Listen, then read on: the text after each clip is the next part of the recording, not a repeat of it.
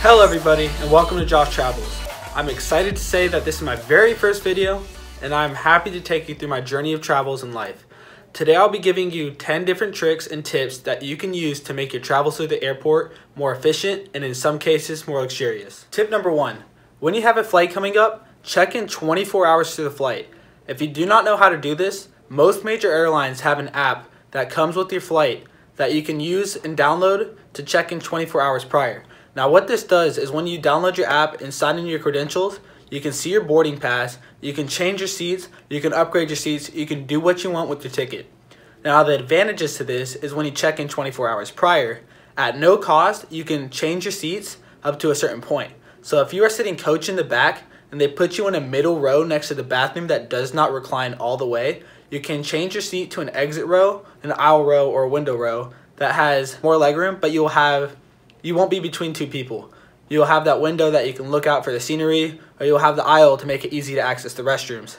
You can also move yourself towards the front of the plane, towards the front of the coach section, so you do not have to waste an extra 10 to 15 minutes waiting for everybody to get on and off the plane. If you have a connecting flight, changing your seat from the back to the front can be a huge advantage because if you only have a 20 minute time window between the flight time that you land and the next flight taking off, those 20 minutes that you'll be stuck in the back waiting for everybody to leave are huge. So if you can, remember to check in 24 hours prior and take advantage of moving your seat further up the plane or to what type of seat you want to move towards. Tip number two. So what you want to do is you want to arrive at the recommended time that the airlines give you, which for domestic is two hours and for international is three. When you're flying domestic, the recommended time is two hours so that you have enough time to get through security, check in your bags, and find your gate. Now this can be an advantage in big airports because if it is your first time traveling, these airports can be a maze and you could get lost pretty easily. But for the most part, if you're a new traveler, show up at that recommended two hours. Not only that, but it also gives the baggage people the time to get your bag on that plane safe, securely, and in a timely fashion so that they do not have to worry about dropping your bags or anything like that. Now for international, that's three hours because you also have to worry about going through the different security lines. Now that doesn't only mean you, that also means your luggage has to go through customs and your luggage is getting checked out. Now why this is important is because this takes more time. If you show up 30 minutes prior to your flight, even if you get to the gate in time, your bag might not. And I've gone to my final destination before and my bag wasn't with me. Obviously I got my stuff back, but it took an extra two to three days for me to get my stuff. Those two to three days, I was living on the same pair of clothes and it was disgusting.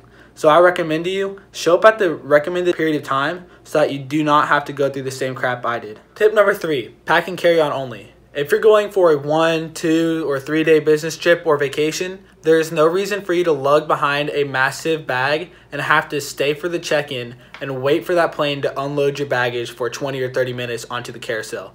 Now, the other reason you might want to travel light with carry on only is if you have that breakable computer or something valuable that you don't want people mishandling, you never know what people are going to do when you're not watching them with your equipment. So, if you have your own carry on luggage, you are guaranteed to have that not break because while you're carrying it, you're treating your own stuff pretty well. So, if you do not want stuff to break and you want to get through the airport a little bit quicker, carry on only is the way to go. Now, one thing you do need to know about carry-on is there's certain stuff you can't bring on, such as liquids over two ounces. And this is a pretty good example of something you can carry that's two ounces or less. So your little contact solution, when they say, get this little travel thing, well, that's so you can pass your security so they don't confiscate your eye drops, your medicine, whatever it may be. So just something you might want to know. Tip number four. This is something that's kind of underrated and not many people know about. Curbside check-in. If you do decide to take a luggage and you're traveling with a luggage, curbside check-in can be very valuable because there's almost nobody in that line most of the time. Now, people think often you have to have some sort of special credit or be part of the airline's super club or something like that. You don't. You just kind of show up with your luggage and be like, hey, I want to check this in, and they'll take it for you. Now, obviously, if you got something special equipment or you got to get something special done, you have to go inside. Use curbside check-in when you can use it because it will save you a lot of time. All right, guys, so I just got out of security, and this brings me to our next point, tip number five. So if you're in the airport three or four times a year, or maybe even more, you might want to do something called TSA pre-check. Now, if you do not know what this is, this is an opportunity for you to skip that long line at the airport you have to go through for security. And to do this, you pay an $85 subscription fee that you renew every five years And like I said, if you fly three or four times a year, maybe even more, this is definitely worth it for you to do. And if you fly less than that, maybe even once a year, that's really up to your discretion whether or not you want to pay these $85. But for me, it's worth it. I fly pretty frequently, as you will soon find out by following my channel.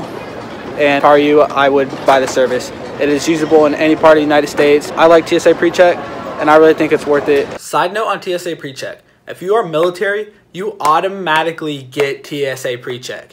If you have your CAC and you have your DOD number on the back, which you should, you can get TSA PreCheck. Tip number six. This is a big one, guys. So there's a couple things that I'm going to be covering in this, and this is more tolerance in the plane.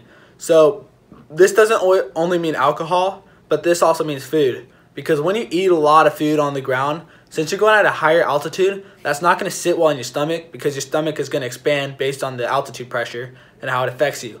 Another thing that this affects is your alcohol tolerance. Guys, I cannot stress this enough. If on the ground you can smash five beers and be perfectly fine, well, if you smash five beers on that plane, those five beers turn into 15 because it's times three your alcohol intake up when you're up in the air. So you just want to know where you're at and what you're drinking because you do not want to get super rowdy on the plane and end up getting arrested and not be able to go wherever you want to go when you get off the plane. All right, so tip number seven, and this is my favorite. So, airline rewards programs. If you sign up for a certain airline reward program, this benefits you a lot. And how this works is the more you use, use that airline, the more you spend with that airline, the more they reward you. They have different tiers, different levels, just like any other thing, just like the movie, just like hotels. So you start off at the bottom and you work way way up with the more money you spend. And what happens when you work your way up is you'll get free baggage. You don't have to pay for baggage when you fly in flights anymore. You'll get more likely to get upgraded to Comfort Plus or First Class, maybe even Delta One if you're flying international. Uh, you get companion tickets, and what these things do is you can you pay for your ticket, and you get somebody else to fly with you for free, which is pretty awesome. Uh, you get the Delta Lounge or United Lounge or any other airport lounge. You get to sit in and relax and while you're waiting for your flight. They give you food, they give you drinks, they have an open bar, a place to work that's quiet, a cleaner bathroom than airports. I love this benefit and I think you should use it. All right, guys, so I want to bring you back to tip number seven. This is uh, me sitting in first class, and how I got here is I use my rewards points that I told you about using your Sky Medallion numbers, uh, joining the different airline rewards programs, and I've gotten this first class seat for free.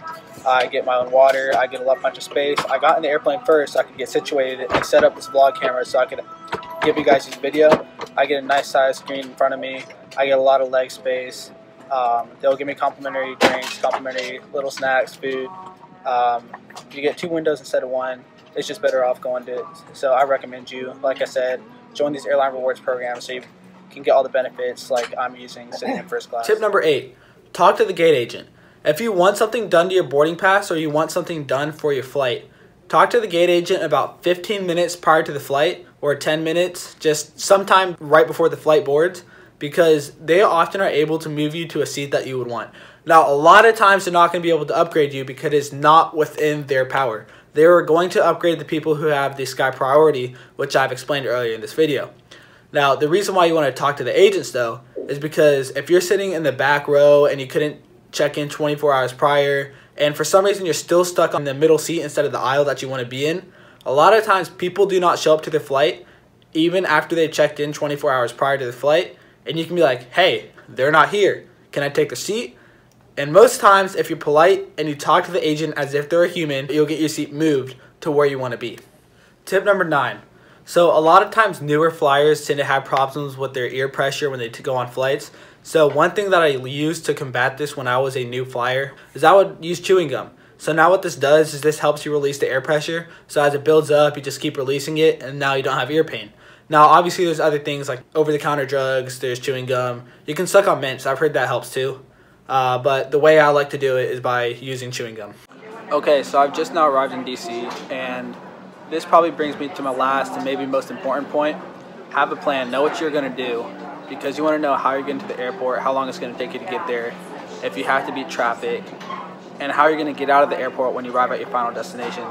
You do not want to be sitting on the curbside for two hours because you did not make a plan on how you're going to get picked up, or spend $100 on an Uber for that matter. Now, another important thing that I'd like to bring up is know where your documents are. You don't want to be traveling without your ID, without your wallet. Last year, I went to Vancouver with my dad. He forgot his wallet in our house, He had to go that entire week with his passport. Every single time we went to a bar and he wanted to drink, he showed his passport. When we did our hotel check-in, he had to carry his passport, and that's an important document that you do not want to lose just because you wanted to get a drink. Thank you everybody for watching my very first video. If you liked my content, please remember to like and subscribe. And if you have any questions, drop them in the comments down below, and I'll be happy to address them as fast as I can.